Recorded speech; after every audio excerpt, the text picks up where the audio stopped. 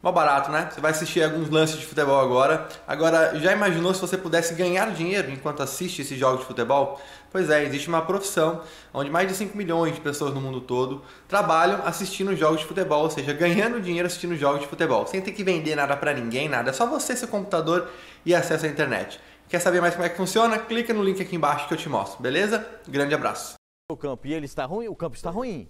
O campo, o campo da Fonte Nova está ruim, já estava no Campeonato Brasileiro. O Renato reclama toda semana do campo do, do, do Grêmio. Toda semana ele reclama. Agora, gente, oh, eu acho que eh, todas as vezes que você começa antes no jogo a dar explicação, a justificar o injustificável, você acaba dando bom dia para cavalo. É o seguinte, é, é, o cara começa a falar, falar, falar e dá bom dia para cavalo. E aí é o seguinte, vai, começa a explicar, ó, Agora, Pascal, eu tô, olhando pra você. Ele fica, ele fica falando. E, mas você não falou outro dia aqui que o Messi não bate o cajado lá e abre o mar? Aí eu falei pra você o seguinte. eu Não vai contar- abrir, eu vou não contar vai a abrir história. lá no gramado. Eu vou contar a história pra você. O Messi jogando no Barcelona. Ele entra em campo. lá, Ó, o homem entrou em campo, hein? Ó.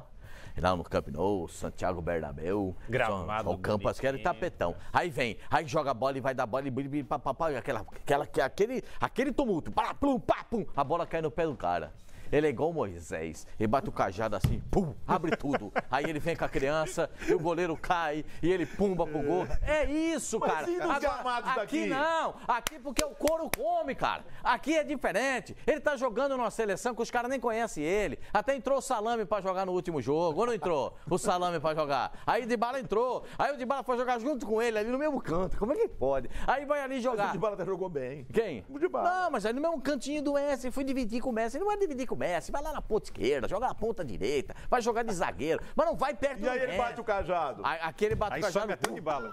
Ele bate o cajado, os caras os estão levantando o Messi. A hora que ele bateu o cajado, o cara já deu uma ripada nele. Não tem conversa pra boi dormir. Para com esse negócio, cara. Agora, fica com essa justificativa. O treinador já foi dois dias, o Tite- já foi dois dias ver o campo. Foi dois dias seguidos. Dois dias. Eu digo o seguinte: o olho do dono engorda o boi. Quando ele é aquele olhar pro boi assim, ó, ele começa a engordar o boi. Ele tá olhando lá que é pra ver se o gramado cresce. Tudo vale, cara. Tudo vale nessa hora. Só não pode dar justificativa. Se não se classificar contra o Paraguai, não venha dizer que o campo prejudicou, porque já é motivo. O jogador de futebol não pode ter motivo. Isso é verdade. Pode ter motivo. Se o Brasil entrar com a vontade que entrou no último jogo contra o Peru, a vontade, a aplicação, a determinação, o que a gente cobrava é o mínimo do jogador da seleção brasileira, porque técnica eles têm para jogar, qualidade eles têm para jogar, velocidade eles têm para jogar, poder de finalização são 18 chutes no gol por jogo. É brincadeira? Então, isso eles têm tudo. Não fique arrumando justificativa antes do jogo. Dá bom dia para cavalo, hein? Bom, vamos ver o campinho da seleção brasileira para que vocês falem é, sobre essa escalação. Deve ser essa escalação. O Tite não confirmou quem entra no lugar do Casemiro. O Fernandinho estava meio baleado, mas já está praticamente 100%. Então, esse deve ser o time do Brasil na quinta-feira. O Alisson, o Daniel Alves, o Marquinhos, o Thiago Silva, o Felipe Luiz. No meio de campo, o Fernandinho, o Arthur, o Felipe Coutinho. Na frente, o Everton, que vai jogar em casa, o Firmino e o Gabriel Jesus Ricardo. Bom, eu acho que é esse time titular. É, o, o Brasil, primeiro do grupo, nove pontos, né? O Brasil, Não, nove não. nove, ganhou os três jogos. Não, o Brasil Não, empatou, sete, Empatou. sete. pontos. Tomou, fez Empatou- gol, oito. empatou com a fortíssima Com a forte Venezuela. Venezuela. sete pontos. 100% só a Colômbia. É, Só mas a quer Colômbia. ver uma coisa? O Brasil, oito gols, Isso sem sofrer nenhum. sem sofrer nenhum. Eu acho que em termos de defensivo o Brasil está muito bem. Eu acho que ah, não, não foi. é, a- as outras equipes também não ofereceram é, um poderio forte na frente. Não importa, a defesa está bem, uma defesa entrosada que se conhece. Né? E houve as mudanças. As mudanças eu acho que vieram muito bem. Eu acho que o Tite não ficou como na Copa do Mundo, né? Com- esperando, é, vamos ver se os jogadores melhorem, não melhorarem e a gente. Né? O Richard Ele para ter caído fora mesmo. Eu, Ele- eu o acho Tite- que sim. Não é que o Richard. O, o- o- ele tinha uma, uma definição maior que o Gabriel vinha entrando bem para mim. Ele não fez os gols, mas vem entrando bem.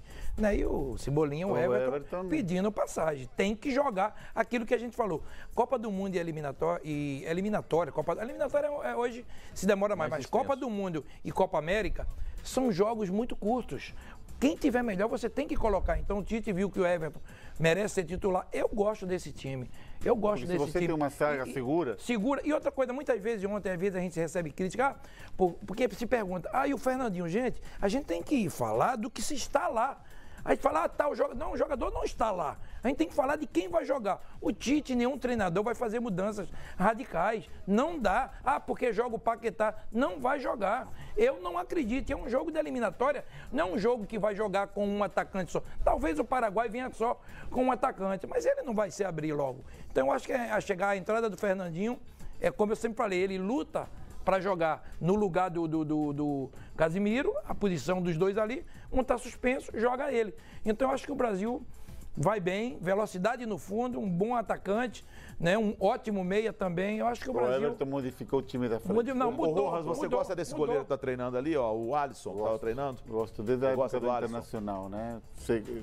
Sempre se falou que tinha dúvida, mas pela campanha que ele fez o ano passado, faz dois anos no Liverpool, já um ano, um ano e meio e pouco. Ele foi o melhor goleiro Jorge, do mundo esse ano, considerado. Toda a, a capacidade para se manter muito tempo.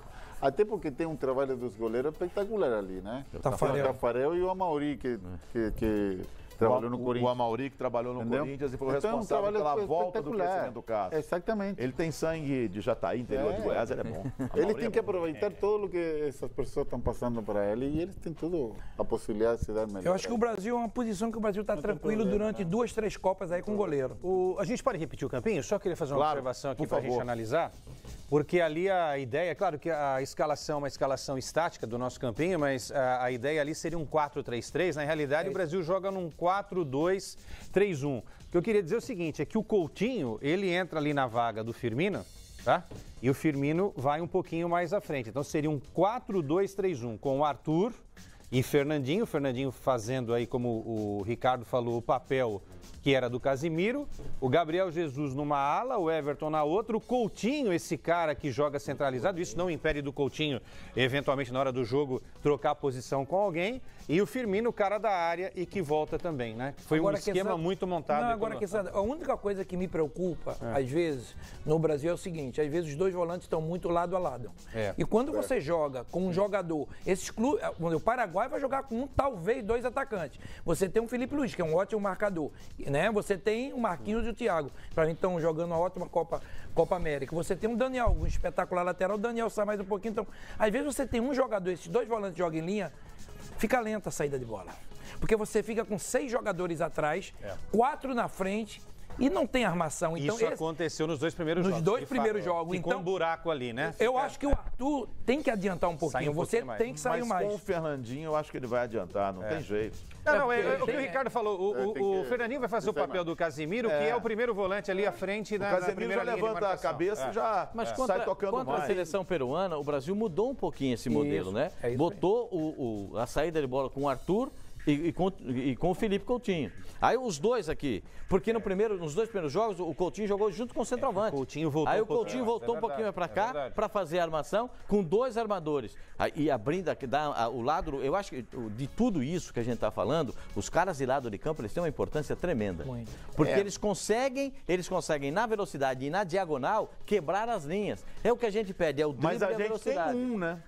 Porque o Felipe Luiz chega na linha de fundo. Não, não, tô falando do Gabriel Jesus. do Gabriel. Ah, sim, sim, e, do, okay, e, okay. e do Cebolinha, do, do Everton. Mas a escalação do Felipe Luiz já é justamente para ele não avançar muito. É um para segurar. Ideia, um segura, é né? Mas contra é, um o Paraguai... Segura. Não, não.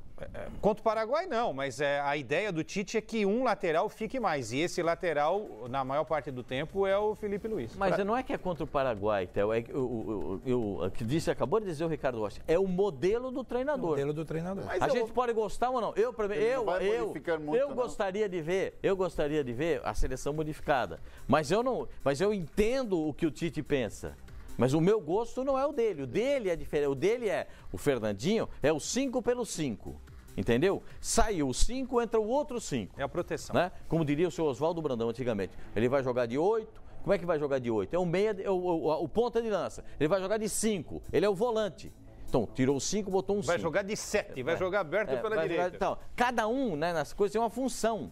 É, e na função dele, de o Fernandinho, você pode questionar. Eu acho que o Fernandinho tem, é, é, bom jogador, mas já passou o tempo dele na seleção. Concordo. Acho que hoje o tempo é do Fabinho, que é melhor jogador do que ele. Mas aí é a questão do treinador. O treinador optou por ele. Lá. É, a gente tem que é. falar o que está lá. O que está lá é o Fernandinho. E eu entendo que o Tite faça isso. Eu posso ter outro gosto, eu tenho, mas eu entendo porque ele faz isso. Bom, vamos falar dos outros confrontos nessas quartas de final da Copa América. A gente já falou do Brasil contra o Paraguai. A gente vai ter a Venezuela jogando no Maracanã na sexta-feira contra a Argentina. A Colômbia vai jogar na sexta-feira, só que à noite. Jogo do Maracanã às quatro da tarde.